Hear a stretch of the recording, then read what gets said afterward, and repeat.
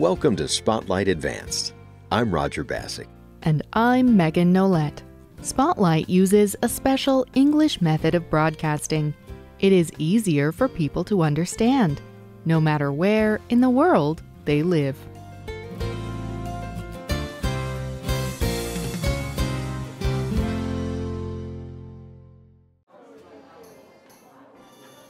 It is 1936. An animal is walking behind bars in a zoo on the island of Tasmania. This animal is a strange one. It looks a little like a dog, but it has dark stripes running down its back like a tiger.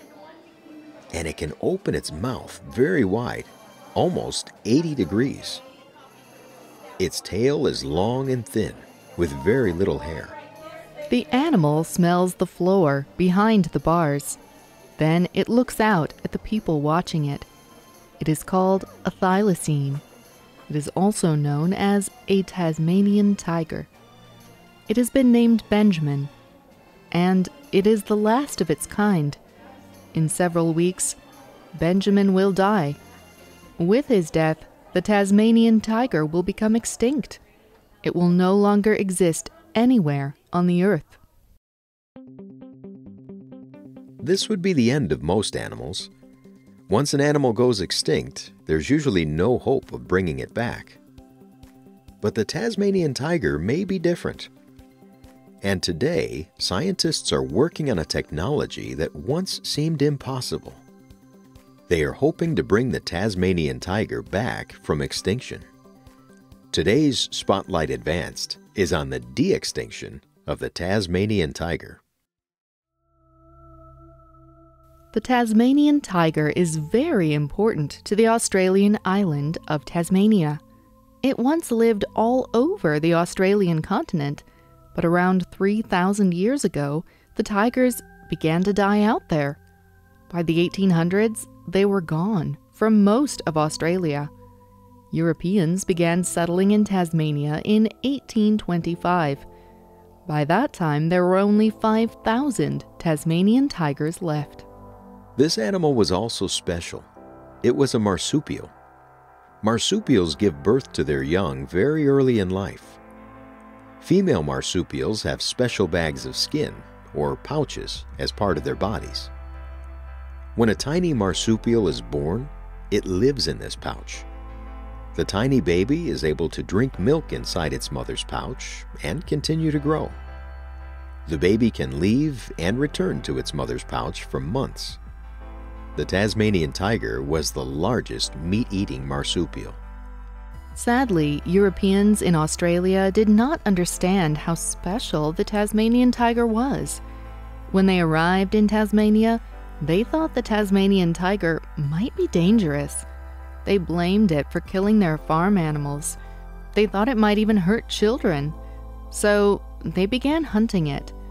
The government even paid money for Tasmanian tiger skins. When people understood that they had made a mistake, it was too late. By 1936, there was only one Tasmanian tiger left. Humans had hunted the Tasmanian tiger to extinction. but the Tasmanian tiger's memory is still very strong in Australia. Since its extinction, it has become a symbol of Tasmania. It is the official symbol of the Tasmanian state. It is even the symbol of the island's cricket team. This may be one reason why scientists are trying to bring this tiger back. It is important to Tasmanian identity. Andrew Pask is a scientist at the University of Melbourne. He is also the head of a laboratory called TIGGR. It is responsible for one attempt at bringing the Tasmanian tiger back. Pask spoke to Al Jazeera News about his reason for trying. I think there is nothing that nears the amazingness of the Tasmanian tiger. It was an amazing, beautiful marsupial, but humans viciously hunted it to extinction. We owe it to the tigers to spend the time and money to return them to their environment. It is a way to repair some of the wrongs we have done in the past. Pask's goals are very challenging. No one has ever brought an animal back from extinction before, though other attempts have been made. Pask's goal is to try a different method. His project will start with DNA taken from the remains of Tasmanian tigers.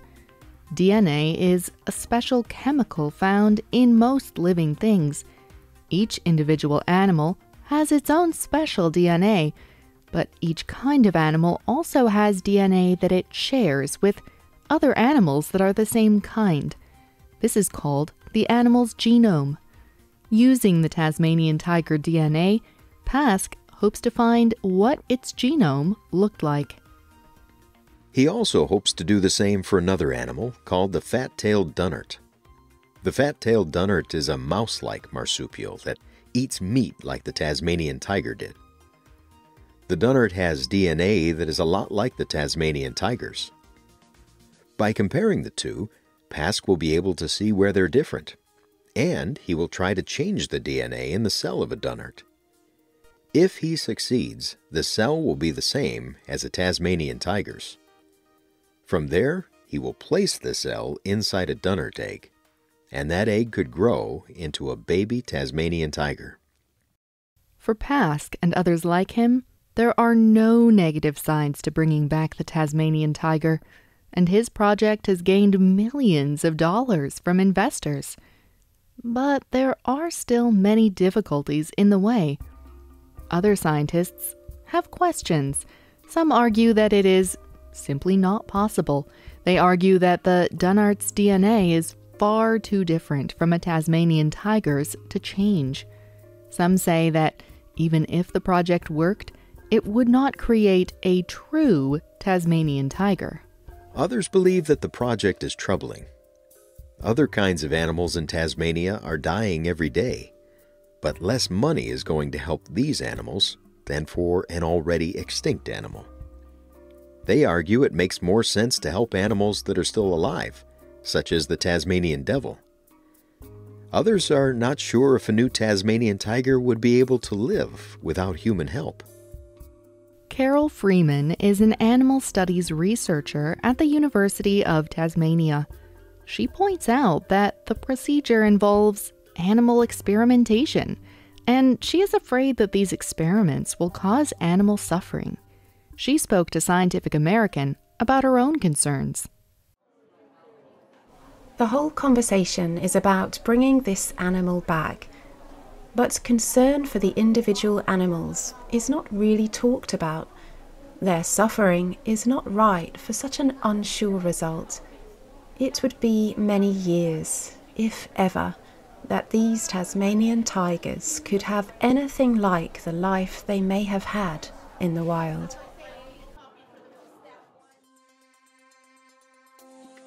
Even with these difficulties, Pask is positive his ideas will win out. He is sure that he can and should bring back the Tasmanian tiger. He even believes it could happen within the next 10 years. He spoke to the cable news network about what he hopes. Our final goal with this technology is to restore this animal to the wild. They had a very important part in nature, so our final hope is that you would be seeing them in Tasmania again one day. What do you think about Pask's project? Do you think it is possible? Do you think it is a good idea to bring an animal back from extinction? We want to hear your thoughts. You can leave a comment on our website or email us at spotlightenglish.com. You can also comment on Facebook at facebook.com slash spotlightradio. The writer and producer of this program was Dan Chrisman. The voices you heard were from the United States. All quotes were adapted for this program and voiced by Spotlight. You can listen to this program again and read it on the internet at www.spotlightenglish.com. This program is called Hope for the Tasmanian Tiger. You can also get our programs delivered directly to your Android or Apple device through our free official Spotlight English app. We hope you can join us again for the next Spotlight program. Goodbye.